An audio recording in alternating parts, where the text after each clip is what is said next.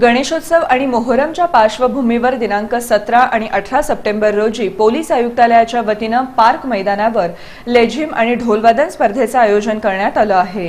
सोलापुरात साजरा होणाऱ्या विविध उत्सवांच्या माध्यमातून पारंपरिक खेळांना आणि वाद्यांना प्रोत्साहन देण्यासाठी त्याचबरोबर समाजातील सामंजस्य वाढीस लागावं यासाठी पोलीस आयुक्तालयाच्या वतीनं लेझिम आणि ढोलवादन स्पर्धेचं आयोजन करण्यात आलं आहे पार्क मैदान इथं दिनांक सतरा आणि अठरा सप्टेंबर रोजी सायंकाळी पाच ते रात्री दहा या दरम्यान ही स्पर्धा होणार असून स्पर्धेत भाग घेण्यासाठी लेझिम तसंच ढोल पथकांच्या प्रमुखांनी नावनोंदणी करणं आवश्यक आहे.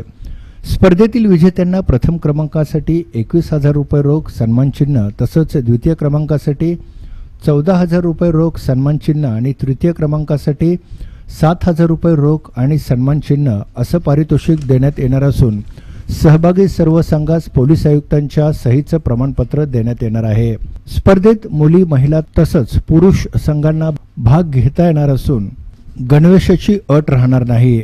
दरम्यान सोलापूरचं सांस्कृतिक वैभव हे वृद्धिंगत होण्यासाठी जास्तीत जास्त संघांनी यात सहभागी होऊन सर्वधर्म समभावाचं दर्शन घडवावं अशा भावना गुन्हे शाखेचे पोलीस निरीक्षक सूर्यकांत पाटील यांनी व्यक्त केल्या.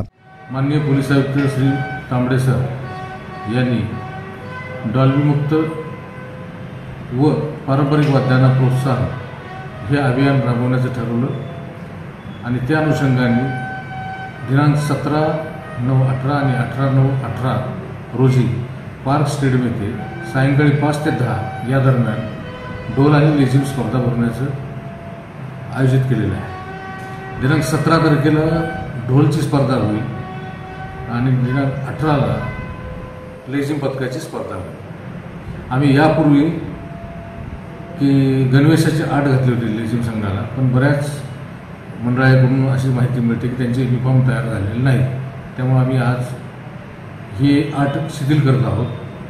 आणि ढोल पथकाचा असा समज झाला आहे की सा किमान साठ संख्या असावी तर ते फक्त लेझिम पथकासाठी आम्ही आट टाकली होती. ढोल पथकासाठी कुठलीही संख्येची आट नाही.